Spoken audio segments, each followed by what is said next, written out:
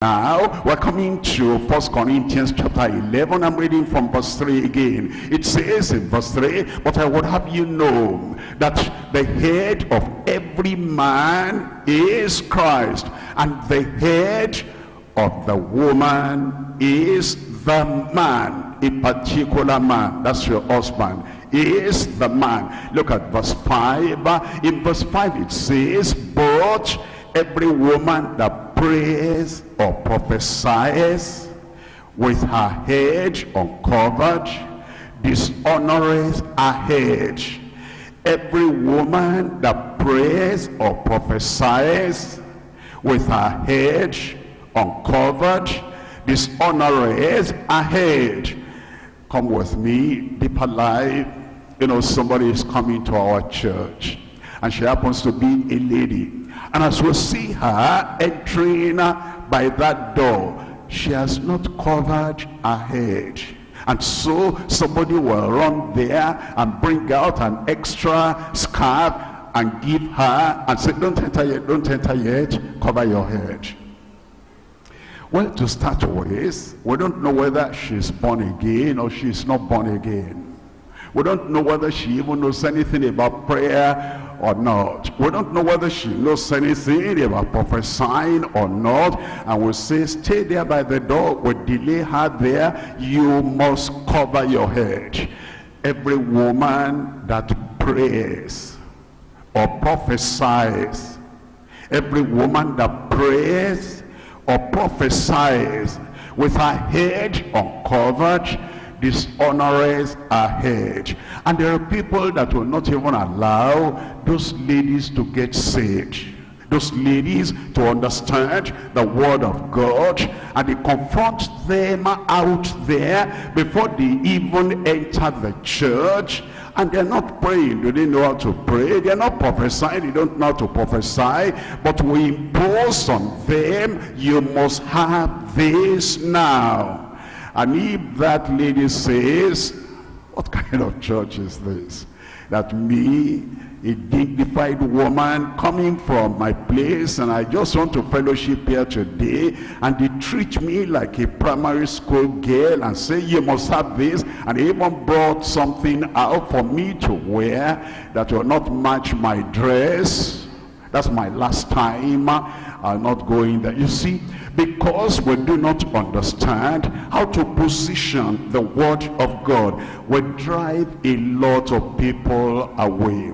I pray God will give us understanding in his word in Jesus name and then even for us who are inside, now you are born again, now you are a child of God, and you are a sister. Already you know that you'll cover your head when you come to the church and when you are supposed to pray and when you are supposed to prophesy but then your emphasis is on covering covering covering. You might not even be praying. You might be dozing and sleeping while the rest of the people are praying. But you know I have fulfilled all righteousness. I have covered my head. You know what the scripture is saying? The scripture is saying the purpose of covering the head for the woman is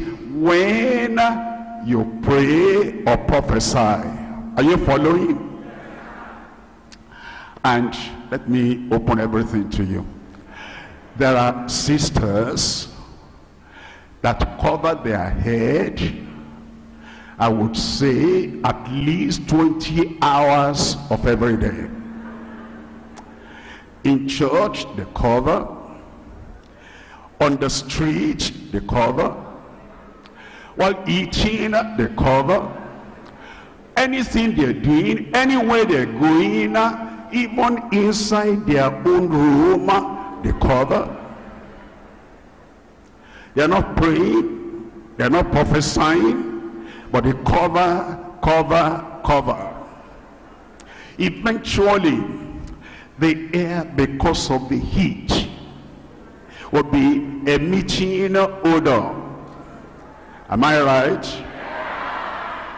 So what kind of pastor is this? This is the kind of pastor that will tell you everything you need to hear. Praise the Lord.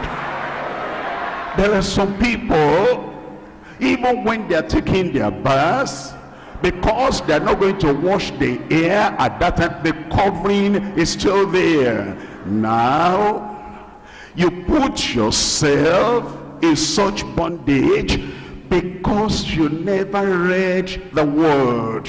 Every woman that prays or prophesies with her head uncovered dishonoreth her head. For that is even all one, as if she were shaven. And then in verse 6, look at verse 6 there, it says, For if the woman be not covered, remember, when praying, when prophesying, let her also be shorn, for if he, it be a shame for the woman to be shorn or shaven, let her be covered. Look at verse 9. In verse 9 it says, Neither was the man created for the woman, but the woman for the man. The woman for the man. The woman for the man. Look up here. If I don't tell you, maybe nobody else will tell you. There are some wives, they don't make themselves clean, beautiful, attractive to their husbands. He has married me, he has married me. He cannot divorce me, and so there's nothing he can do. And they dress shabbily and they will not present themselves attractive to their husband. It says the woman was made for that man. There are some singles. And we're going to have a single seminar on the 5th of June, Saturday. I pray you'll be there because anything that has hindered you from getting bone of your bone, flesh of your flesh, we're going to cancel everything in Jesus' name. But you know, my brothers and sisters, here we are. There are sisters, single sisters, they, they're not presentable.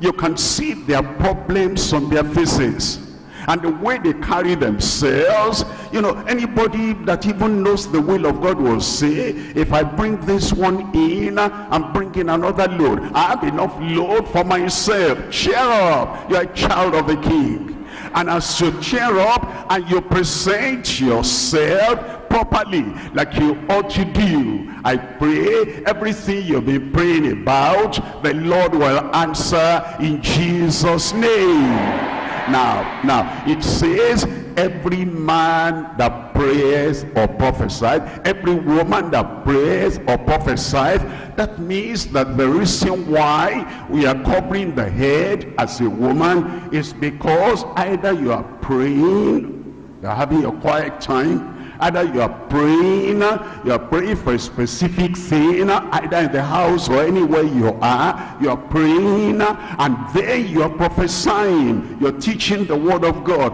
you are evangelizing. That's when it says you bring a cover on your head. And I pray that God will help you. The power to pray and the promises you stand upon when you pray. The lord will grant you the heart to abide in jesus name